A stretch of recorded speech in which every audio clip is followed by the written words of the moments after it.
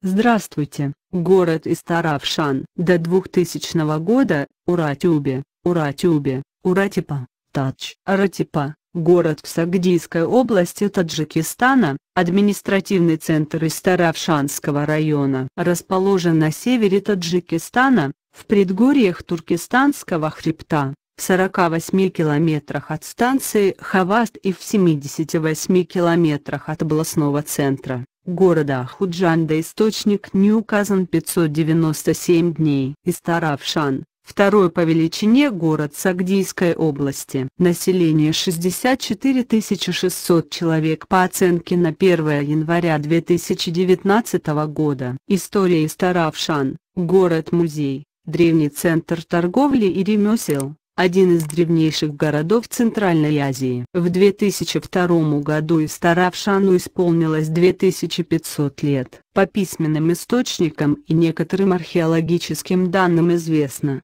что в VI-IV веках до нашей эры в связи с развитием ремесел и торговли в оседлых среднеазиатских областях наряду с мелкими сельскими поселениями, возникли крупные населенные пункты городского типа. Помимо Самарканда в Средней Азии того периода существовали и другие города. Одним из них был нынешний Истаравшан, а в прошлом Кераполь, Курушкада, названный так по имени основателя персидской державы Кира Куруша, 529 559 годы до нашей эры. Город был основан в VI веке до нашей эры этим архименидским царем укрепившим поселение тремя рядами стены цитаделью. Кирополь обязан своим происхождением росту ремесленного производства и торговли. К тому времени, когда Александр Македонский завоевал Среднюю Азию, IV век до нашей эры, Курушкада была уже большим, хорошо укрепленным городом. Во II-VII веках до нашей эры на территории Старавшина располагалось городище Муктепа,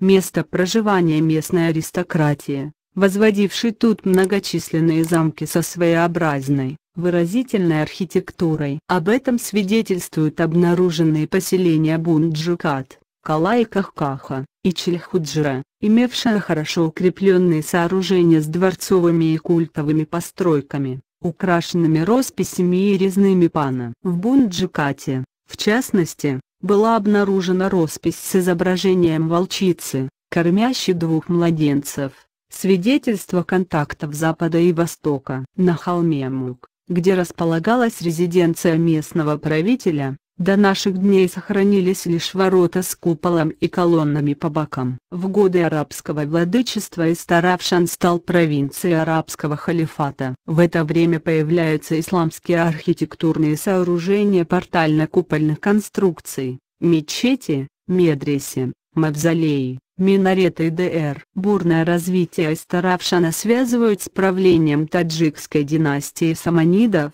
9-10 века. XIII веке город был разрушен монголами. Второй период расцвета Истаравшан переживает в XIV веке, когда формируется могущественная империя тимуидов. Теперь город называется Уратюби. В XVI веке Мавереннахр, а вместе с ними Уратюби, теряет свое значение в результате образования нового государства шибанидов со столицей в Бухаре. В XVIII веке Уратюби вновь получает развитие. Именно в это время были укреплены цитадели стены крепости, реставрированы старые возведены новые сооружения, способные выдержать атаки многочисленных кочевых племен атакующих город. В 1866 году крепость взята русскими войсками. В 1886 году Уратюби вошел в состав России. До наших дней в Истаравшане сохранился ряд интересных исторических и архитектурных памятников